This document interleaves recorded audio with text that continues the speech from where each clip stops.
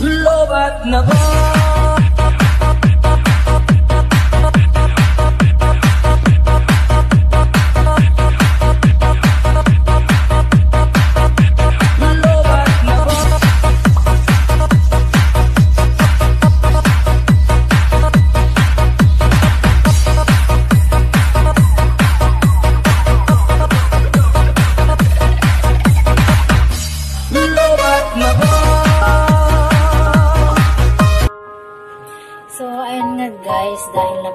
Ko yung video na upload ni Idol Net sa kanyang channel, ah, meron siyang upload na tinulungan niya na batang 18 years old na hindi siya nakakatayo, naka-bedridden lang siya. So, parang na ano ako na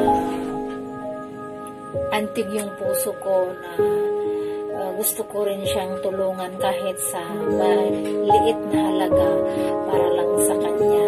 So, minesage ko si Idol Net na sabi ko magbigay ako ng tulong dun sa batang 18 years old na naka-bedridden. So, yun nga guys, binigyan ko siya ng maliit na halaga at siya na bahala na nag-budget sa binigay ko kung ano man yung pangangailangan ng bata. So, ayun nga guys, um, panoorin natin si Idol Net sa pagpunta sa batang binigyan niya ng ayuda na si Junjun na 18 years old. So, ayun. Ah, sana marami pang taong makakatulong sa kanya ah, kahit man lang sa konting halaga at magbili nila ng kailangan ng bata. So, ayun nga guys, panoorin natin siya. A few moments later. Ayan, mga magandang tanghali sa inyo mga kalingap. Narito ako ngayon sa Pure Gold. Ah, mamimili kami ng ibibigay ko sa kina, sa anak ni Nanay Luz kay Judjon. May nagpabot kasi sa akin ng ah, pera. Ibili ko daw ng kakailanganin ni Junjun. Ako na daw bahala. Samahan niyo ako mga kalingap, mga guys dyan, samahan niyo ako. Maraming salamat sa inyo. Nandito ako sa Pure Gold ng GMA Cavite. Kasama ko rin po si Christy. Yan, si Christy. Yan. Kasama po kami dalawa. Salamat. Balikan ko kayo mamaya. Thank you. Ayan na yung ano, pinamili ko. Ah, dalawa may-ari niyan. Si Junjun at saka kay tatay yung isang inilapit din sa akin. Ayan, parehas ko sila binila, binigyan ng binila ng bigas. Ayan. Ayan.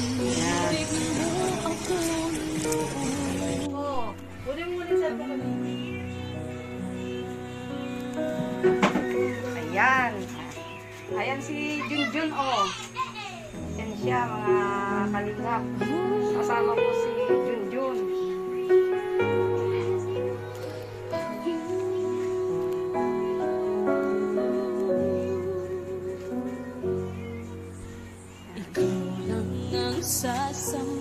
Ano Jun, kamusta naman? Ayun, oh, tingin ka, oh, nakikita ka doon sa. Yung kaway-kaway ka. Kaway-kaway ka. Ayan, mga kalingap, nakita ko kay Junjun, dinalaw ko siya. Ah, oh, ayan, oh. Natutuwa siya sa pagdalaw ko.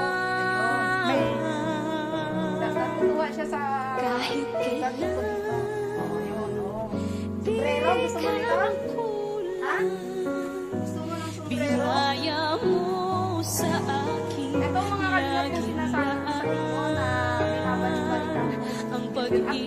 Salamat nga pala sa nagbigay sa akin ng pambili ng pagkain para kay Junjun. Eh, eto nga, inabutan niya ako. Ah, binili ko nga kay YTC family, kay ah, Maribel Andrada. Ah, Maribel Andrada. Siya yung nagbigay sa akin. Ah, nakita niya kasi ah, dati kay Junjun, tapos habang siya kasi sabi ko nga, sabi kasi sa akin nung nanay niya, talagang kailangan nila is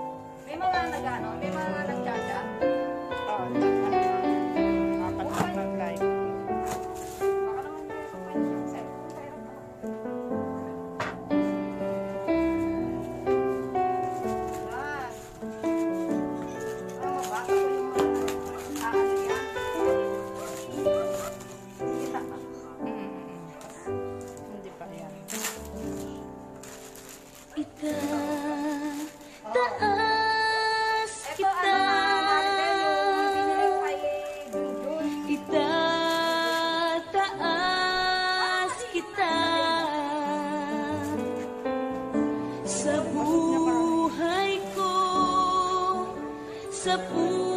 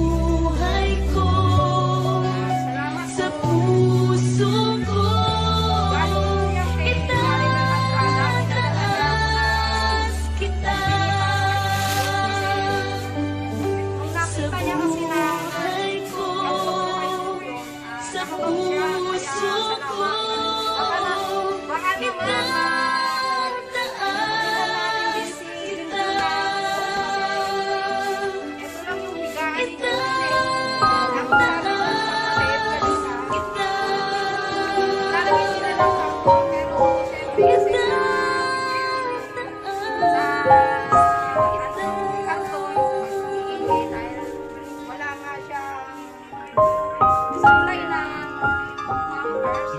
So, yung nga naman mabilis, mabilis mabasa.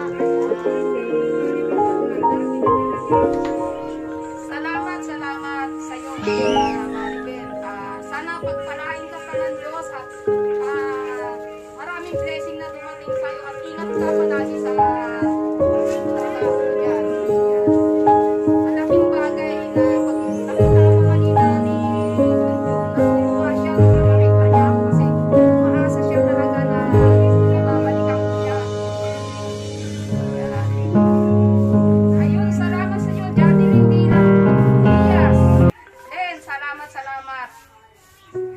Oo, saglit lang naman ako to. Inano ko lang naman na, ano,